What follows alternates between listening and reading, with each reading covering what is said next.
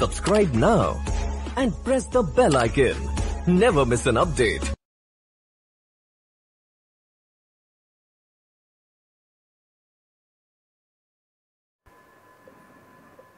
A very good morning, students.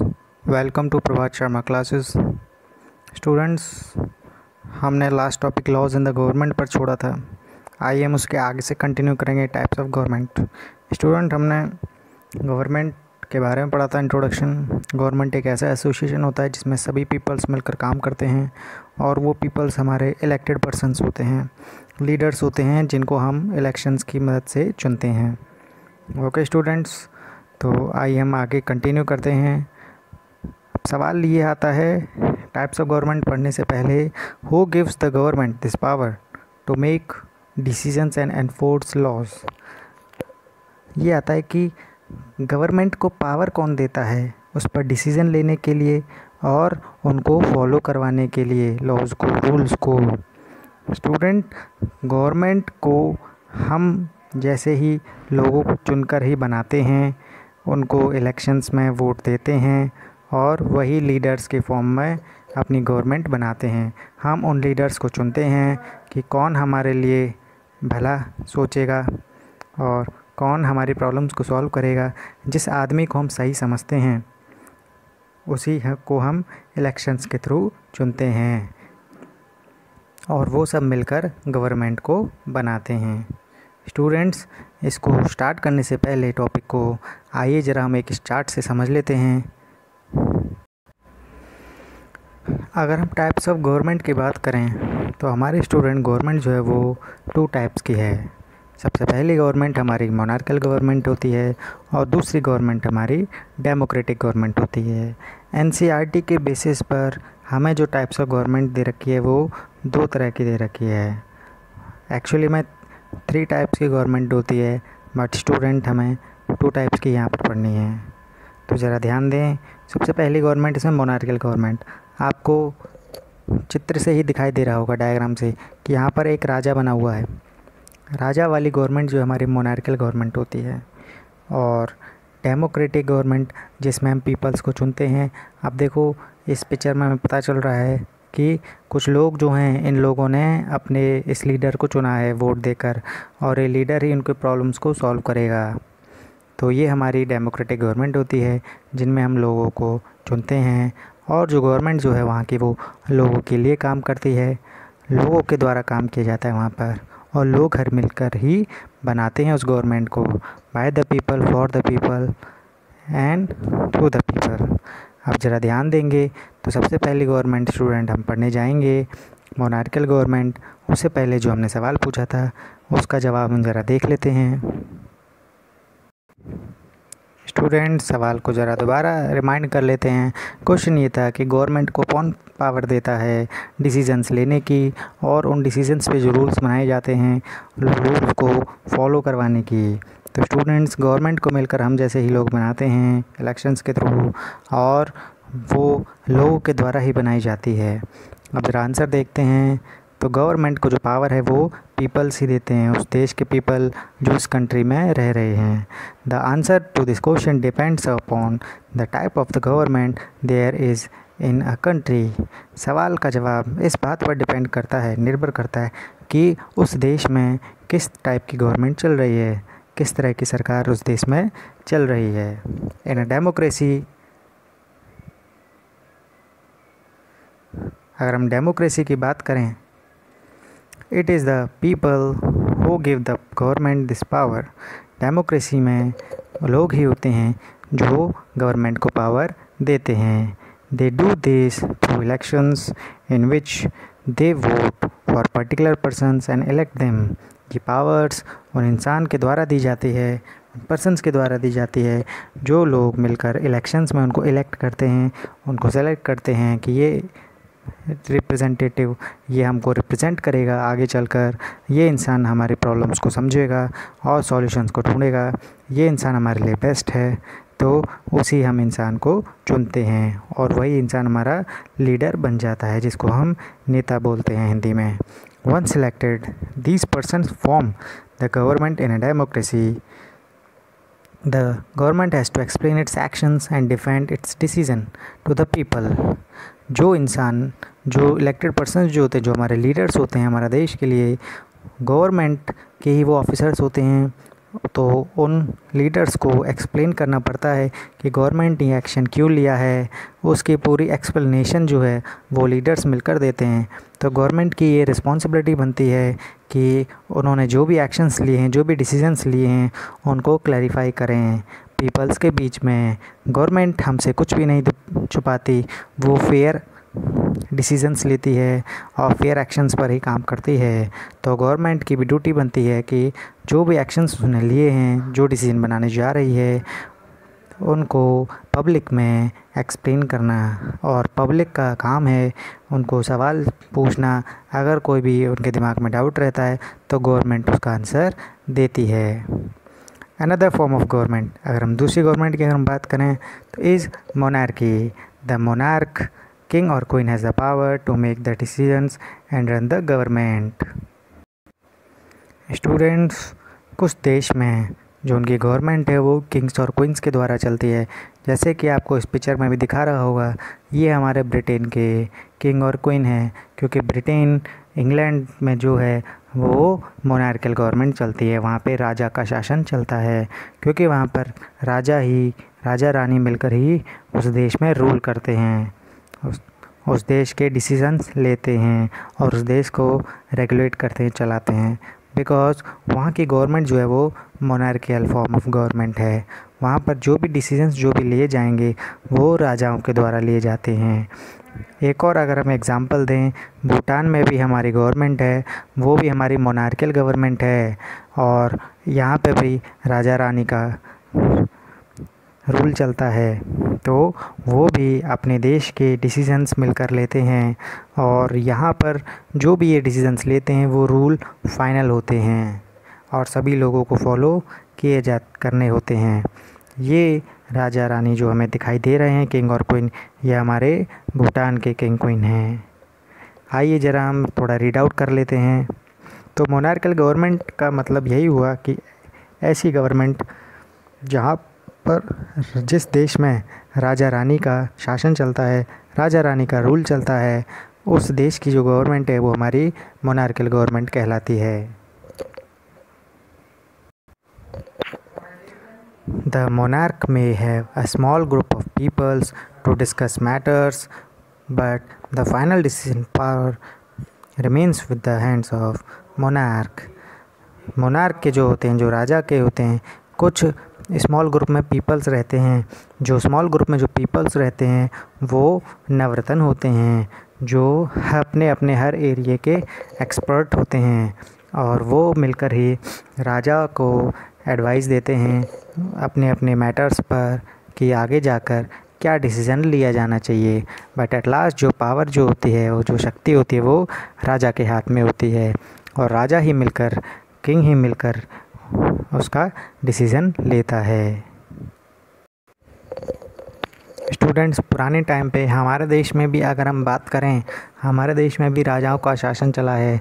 वहाँ की जो गवर्नमेंट है, वो पहले मोनार्कल गवर्नमेंट चलती थी उस टाइम पर और एक एग्ज़ाम्पल यहाँ पे सामने दे रखा है, ये अकबर बादशाह, जो हमारे मुग़ल एम्पर जो थे, मुग़ल बादशाह जो थे, उन्होंने राज किया था और इन्होंने के दरबार में, इनके कोर्ट्स में भी नाइन जेम्स हुआ करते थे और नाइन जेम्स को हम नवरत्न बोलते हैं, क्योंकि ये अलग अलग एक्सपर्ट्स पर्सनस होते थे अपने अपने एरिए में।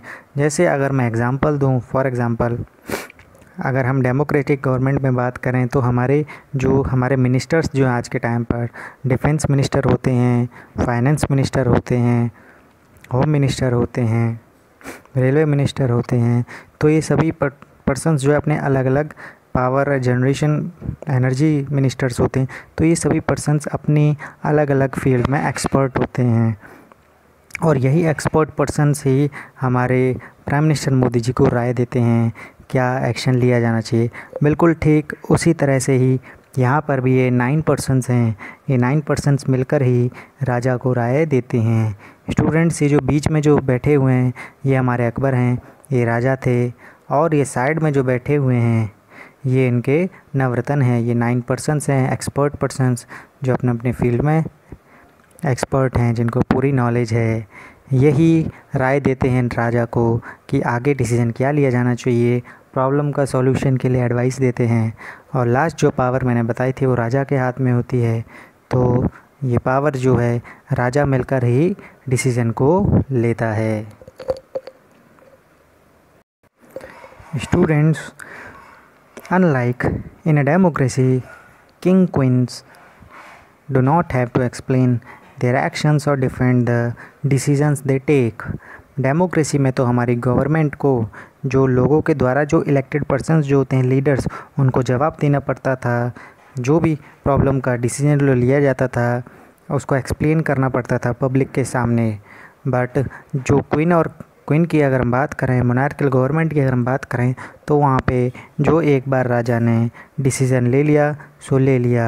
राजा उस डिसीज़न को एक्सप्लेन नहीं करता था, कोई भी क्लैरिफिकेशन नहीं करता था पब्लिक के सामने, और अपने डिसीजंस वो खुद लिया करता था। पब्लिक के पास कोई भी राइट नहीं होता था उससे क्वेश्चन करने का। बट अगर हम डेमोक्रेटिक गवर्नमेंट की बात करें तो वहाँ पर पब्लिक को राइट होता है, अधिकार होता है, सवाल पूछने का अपने गवर्नमेंट से। और वो गवर्नमेंट के जो ऑफिसर्स हैं, जो लीडर्स हैं, वही उनके बातों का सॉल्यूशन करते हैं। बट मोनार्कल गवर्नमेंट में ऐसे कोई सॉल्यूशन नहीं किए जाते, और ना ही राजा उनके डिसीजंस को एक्सप्लेन करता। स्टूडेंट्स, डेमोक्रेटिक गवर्नमेंट पढ़ने से पहले ये कुछ क्वेश्चंस दे रखे हैं। आइए ज़रा इनको डिस्कस कर लेते हैं। तो पहला क्वेश्चन दिया हुआ है do you think it is important for people to be involve in decisions that affect them give two reasons for answer क्या ये ज़रूरी है कि लोगों का रोल होना चाहिए इम्पोर्टेंट रोल होना चाहिए, जो भी डिसीजंस लिए जाते हैं? स्टूडेंट्स, अगर हम डेमोक्रेटिक गवर्नमेंट की बात करें तो रोल होना चाहिए, क्योंकि वहाँ पर लोगों को डिसीजंस लेने का अधिकार होता है। तो लोगों का डिसीजंस लेने में इन्वॉलमेंट होनी चाहिए रोल होना चाहिए। बिकॉज़ वही पर्सनस मिलकर, वही पीपल्स मिलकर ही गवर्नमेंट के लीडर्स को इलेक्ट करते हैं और उनको, इंसान को सही समझते हैं कि यही हमारे प्रॉब्लम्स को सॉल्व करेंगे। क्योंकि गवर्नमेंट जो है, वो हम जैसे पीपल्स के द्वारा ही इलेक्शंस के थ्रू बनाई जाती है। तो हम लोग जो है, एक इंपॉर्टेंट पार्ट होते हैं। क्योंकि हमारी जो पब्लिक है पब्लिक के हिसाब से ही गवर्नमेंट वहाँ पर वर्क करती है। डेमोक्रेटिक गवर्नमेंट तो डिसीजंस में पीपल्स का इन्वॉल्वमेंट होना चाहिए।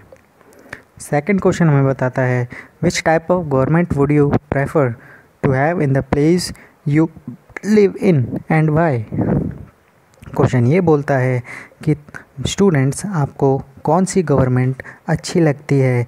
किस गवर्नमेंट को आप चुनना चाहोगे? जिस जगह पर आप रहते हो?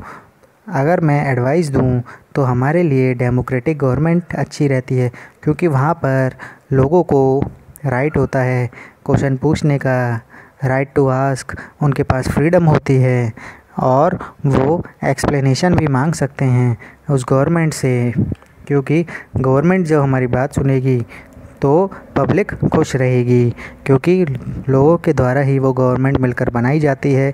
तो लोगों को राइट होना चाहिए उस गवर्नमेंट से क्वेश्चनिंग करने का। तो अगर हम बताएँ तो हमारे लिए जो गवर्नमेंट है वो डेमोक्रेटिक गवर्नमेंट बेस्ट रहेगी, क्योंकि वो एक्सप्लेन करती है अपने डिसीजंस को। वो उसकी ड्यूटी होती है कि अपने जो भी डिसीजंस जो एक्शन ले जाते हैं, उनको एक्सप्लेन करे। वो जो डिसीजंस है, वो फेयर डिसीज़न लेगी। वो गवर्नमेंट जो है डेमोक्रेटिक गवर्नमेंट किसी में भेदभाव नहीं करती अमीर गरीब में, क्योंकि वहाँ पर उस गवर्नमेंट के लिए जो लोग हैं, वो इक्वल हैं। स्टूडेंट थर्ड क्वेश्चन हम पढ़ते हैं which of the statements below is correct correct दो sentences that you think think need correction आपको ये बताने कि कौन सी स्टेटमेंट इसमें करेक्ट हैं और अगर गलत हैं तो उनको कैसे सही करेंगे? तो फ़र्स्ट ए पार्ट जो है इसका in a monarchy the country citizens are allowed to elect whoever they want अगर मोनार्कल गवर्नमेंट की बात करें तो क्या लोगों को लोगों को राइट है कि वो किसी भी तरीके का पर्सन इलेक्ट कर सकते हैं। मोनार्कल गवर्नमेंट में स्टूडेंट्स कोई भी इंसानों को इलेक्शन नहीं होता। कोई भी पर्सन को हम इलेक्ट नहीं कर सकते, क्योंकि इसमें जो रूल करने वाला जो पर्सन होता है, वो किंग होता है। तो अगर हमें सिटीजन्स को अलाउड करना है तो यहाँ पर डेमोक्रेटिक गवर्नमेंट होनी चाहिए। जिससे कि हम जो भी तरह का हमें पीपल चाहिए। जो लीडर हम समझते हैं कि ये सही रहेगा, उसी को हम लीडर अपना बनाते हैं। तो सेंटेंस को सही करने के लिए सबसे पहले हमें यहाँ पर टाइप्स ऑफ़ गवर्नमेंट चेंज करनी पड़ेगी। क्योंकि पीपल को अलाउड करने के लिए यहाँ पर डेमोक्रेटिक गवर्नमेंट का करेक्शन करना पड़ेगा। बी पार्ट है in a democracy a king has absolute powers to rule the country क्या डेमोक्रेसी में राजा को पावर होती है? देश पर रूल करने की, शासन करने की, ये स्टेटमेंट बिल्कुल गलत है। डेमोक्रेसी में तो लोगों को पावर होती है, क्योंकि पीपल्स के द्वारा जो लोग चुने जाते हैं लीडर्स की फॉर्म में, उनको पावर होती है रूल करने की। किंग को तो पावर सिर्फ़ मोनेरिकल गवर्नमेंट में होती है। अगर हम डेमोक्रेसी की बात करें तो यहाँ पर पीपल्स को एब्सोल्यूट पावर होती है, ना कि किंग को। सी पार्ट ज़रा देखते हैं। In a monarchy people can raise questions about the decisions the monarch takes अगर मोनार्कल गवर्नमेंट की बात करें, राजा वाली गवर्नमेंट में, क्या लोगों को अधिकार है, लोगों को राइट है क्वेश्चनिंग करने का उस किंग से जो भी डिसीजंस लिए जाते हैं किंग के द्वारा तो मोनार्कल गवर्नमेंट में स्टूडेंट्स किसी भी इंसान को कोई भी राइट नहीं है। जो एक बार किंग ने डिसीज़न ले लिया, सो ले लिया। राजा उस डिसीज़न को एक्सप्लेन कभी नहीं करता। और जो डिसीज़न लिया जाता है, वो सभी को स्ट्रिक्टली फॉलो करना पड़ता है। आइए स्टूडेंट हम अपनी डेमोक्रेटिक गवर्नमेंट के बारे में पढ़ते हैं। स्टूडेंट डेमोक्रेटिक गवर्नमेंट को पढ़ने से पहले हमें ये पता होना चाहिए कि हमारे देश में जो गवर्नमेंट है, वो डेमोक्रेटिक गवर्नमेंट चलती है। आइए ज़रा हम कुछ डायग्राम से समझते हैं। स्टूडेंट्स, हमारे देश में जो गवर्नमेंट जो बनाई जाती है, वो इलेक्शन की हेल्प से बनाई जाती है। तो हमारे देश में इलेक्शंस कंडक्ट कराए जाते हैं, जिसके थ्रू हम पीपल्स जो हैं, वो लीडर को चुनते हैं। अपना रिप्रेजेंटेटिव को चुनते हैं वोट की पावर से, क्योंकि उनके पास राइट होता है वोट देने का। स्टूडेंट्स इलेक्शंस जो हैं, वो बहुत से कंट्रीज़ में चलते हैं। जैसे फॉर एग्ज़ाम्पल जहाँ पे डेमोक्रेसी चलती है तो ज़ाहिर सी बात है वहाँ पर इलेक्शंस भी होंगे। अब ये यूएसए में भी हमारी डेमोक्रेसी चलती है। अगर हम ऑस्ट्रेलिया की बात करें, ऑस्ट्रेलिया में भी डेमोक्रेसी चलती है। वहाँ पे भी इलेक्शंस होते हैं। देखो यहाँ पर ये इंसान जो है वो वोट दे रहा है। क्योंकि वोट ही एक ऐसी वो होती है जिसके ज़रिए हम अपने रिप्रेजेंटेटिव को चुनते हैं। तो सभी पर्सन्स मिलकर हमारे देश में वोट देते हैं। कुछ पॉलिटिकल पार्टीज़ हैं हमारे इंडिया की। कुछ मेजर पॉलिटिकल पार्टीज़ जिनको हम वोट देते हैं। तो सबसे पहले जो दे रखी है वो कमल का फूल है, जैसे कि आप पहचान गए होंगे। कमल का फूल जो है वो भारतीय जनता पार्टी है। क्योंकि हमारी आज के टाइम पे जो गवर्नमेंट है वो बीजेपी, भारतीय जनता पार्टी की चल रही है। कुछ और पॉलिटिकल पार्टीज़ हैं इसमें, इंडियन नेशनल कांग्रेस कांग्रेस जो है हमारी पार्टी वो भी है इसमें, बहुजन समाज पार्टी, बीएसपी, मायावती जी की, कांग्रेस जो है वो सोनिया गांधी जी की पार्टी है, नेशनल कांग्रेस पार्टी, ये भी अलग है NCP, Communist Party of India, ये हमारी वेस्ट बंगाल की साइड चलती है और Communist Party of India Marxist, ये बाद में डिवाइड हो गई थी students. All India Trinamool Congress, ये वेस्ट बंगाल में चलती है हमारे, जो कि जिसकी जो टीएमसी जो है, तृणमूल कांग्रेस जो है, वो पार्टी जो है, वो ममता बनर्जी की पार्टी है, जो कि वेस्ट बंगाल के इस टाइम पर चीफ मिनिस्टर हैं।